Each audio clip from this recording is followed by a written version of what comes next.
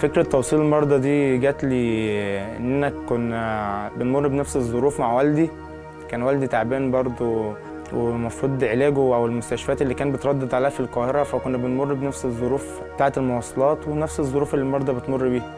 فأنا إيه من من هنا قلت إيه هتاجر مع ربنا و واللي هقدر عليه أعمله مع المرضى مثلا الأيام اللي ببقى فاضي فيها في الأسبوع أقدر إن أنا إيه أطلع مع المرضى وأوصلهم وكده.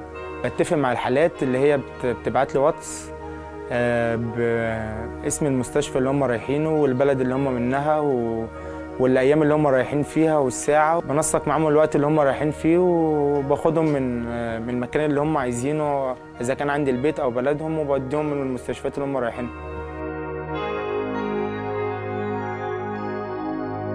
في حالات ممكن أرجعها في نفس اليوم وفي حاجات بتنحجز هناك في المستشفى. هو ال- الموضوع بدون أجر ما مادي آه، لوجه الله. كل ال- الواحد محتاجه دعوة حلوة. الواحد يحس اللي هو إيه ساعد مريض آه، آه، سبب في في شفائه بعد ربنا الحمد لله. تبقى حاجة يعني تعد للواحد يعني الحمد لله. المبادرة أطلقتها في نطاق محافظة الشرقية. فأنا ممكن آه، لو أنا فاضي على حسب شغلي ممكن أطلع كل يوم على حسب مثلا الحالة رايحة الزقازيق رايحة القاهرة.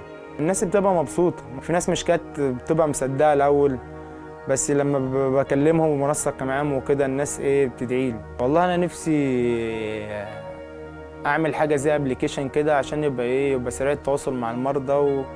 وسريع التواصل لو حد معايا عايز إيه عايز يدخل معايا في المبادرة نبقى إيه نبقى بنتواصل مع المرضى على طول. بدل ما إيه بدل ما المرضى بيكلموني ولسه بيبعتوا لي واتس وننسق مع بعض وكده. وعايز برضو إيه اللي يقدر على حاجة من الشباب يعملها. يعني في ناس بتبقى فاضية كتير ونفسها تساعد.